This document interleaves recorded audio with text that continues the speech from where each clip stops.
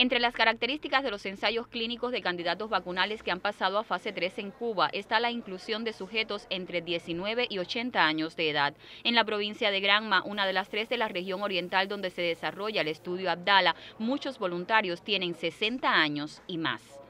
Miriam Milán, por ejemplo, ya recibió la segunda dosis del producto biotecnológico y vuelve a expresar su satisfacción. No refiere eventos adversos a pesar de tener enfermedades de base. No sentí nada, hacía normal.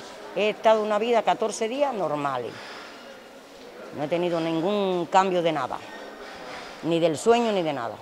Según participantes de la salud, los eventos adversos han sido muy pocos y nada graves.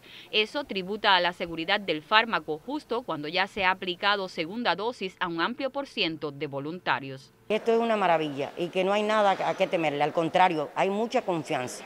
Tenemos que tener mucha confianza porque esto es quien nos va a ayudar a nosotros, al país y para el mundo.